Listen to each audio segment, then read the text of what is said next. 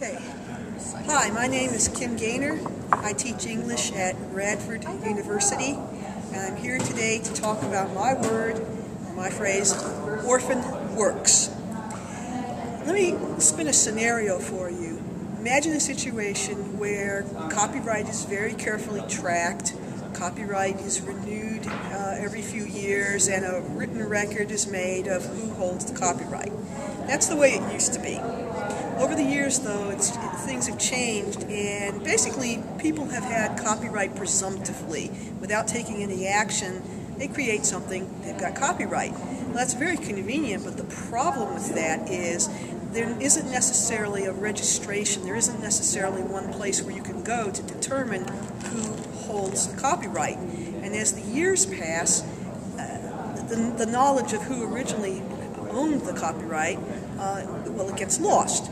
So you end up with a situation where you have indeed these orphan works. That is, there's something that probably is should be copyrighted, but you don't have any way of tracking who that person is. So that if you want to use this copyrighted material, well, who do you go to to get that permission? All right, let me illustrate this. And first of all, oops, First of all, let me mess up my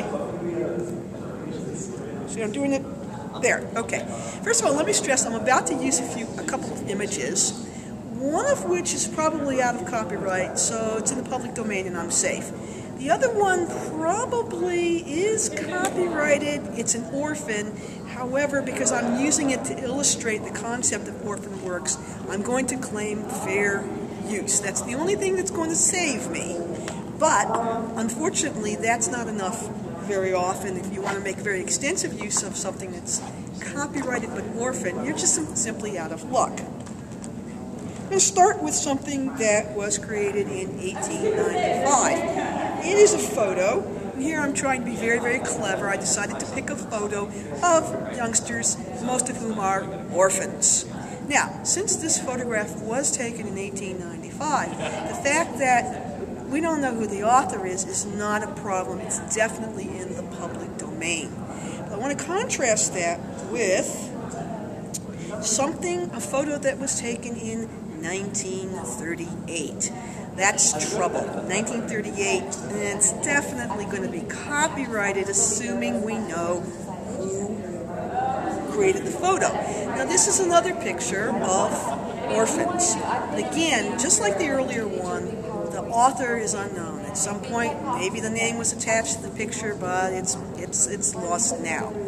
So let's say that you would like to um, republish this photograph. Let's say that you would like to uh, bring it out in a book yeah, publisher's probably going to get very, very nervous. And in cases like this, in the end, fearful publishers very often will simply say, well, no, the provenance of that photo is unclear. We do know the date. Uh, and so it, it gets lost to scholarship. It gets lost to the public.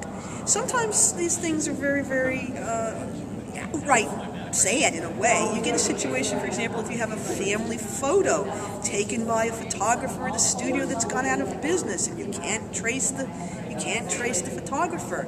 You take it to your you know your local drugstore. You want to make a copy of it. Well, pharmacist at the local drugstore is going to say no dice. Uh, yeah, I'm going to be violating copywork. I don't want to get involved in that. Go away, and you know it languishes uncopied.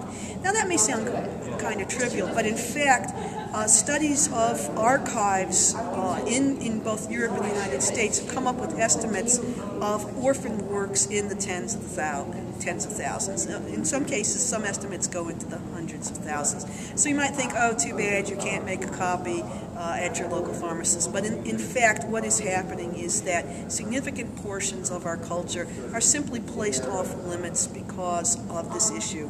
Uh, of the books that have been published uh, over the years, again, we're, we're, talking in the hundreds of thousands, only a few are currently in print and the others are simply lost to us. So this is why I picked this term orphan works, because it really refers to an enormous body of work um, music, films, photographs, um, traditional printed books, but an enormous body of work that's languishing. It's locked up, it's in the archives, it's in the libraries, but in terms of being uh, able to widely distribute it, to be able to build on it, to be able to republish it, we simply can't. They are orphaned.